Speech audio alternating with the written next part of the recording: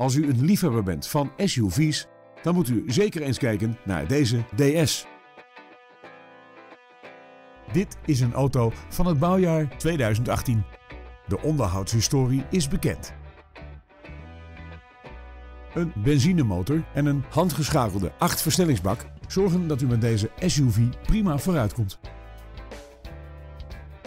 Het interieur biedt plaats aan 5 personen en is voorzien van climate control, een dashboard met spraakbediening en een elektrisch verstelbare bestuurdersstoel met geheugen. Deze auto is daarbij voorzien van keyless entry, een start-stop systeem en 18-inch lichtmetalen velgen. Hebt u interesse in deze auto? Neem nu contact met ons op en we zetten hem klaar voor een proefrit.